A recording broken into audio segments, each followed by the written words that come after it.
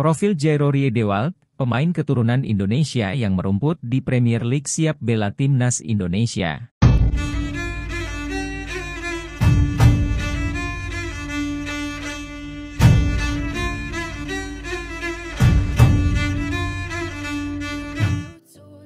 Sosok Jairo Riedewald, seorang pemain sepak bola yang saat ini merumput di Premier League bersama klub Crystal Palace jadi sorotan.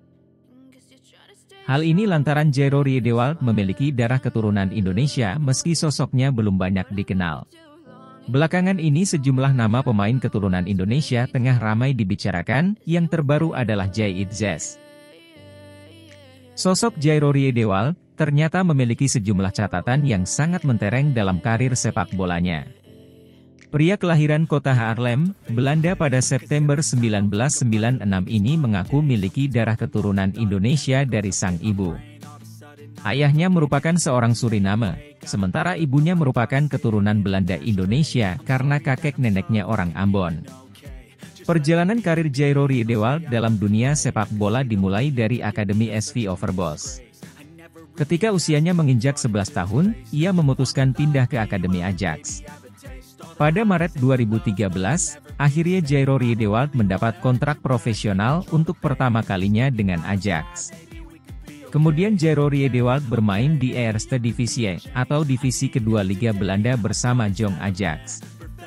Karir sepak bolanya berkembang dengan cepat, sehingga di tahun yang sama Jairo Riedewald debut dengan tim senior Jong Ajax di Piala Belanda.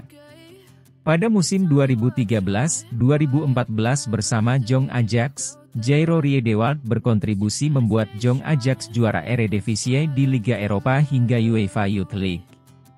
Di musim berikutnya yaitu 2014-2015, sosok Jairo Riedewald mendapatkan banyak kesempatan turun di Liga Belanda hingga Liga Champions.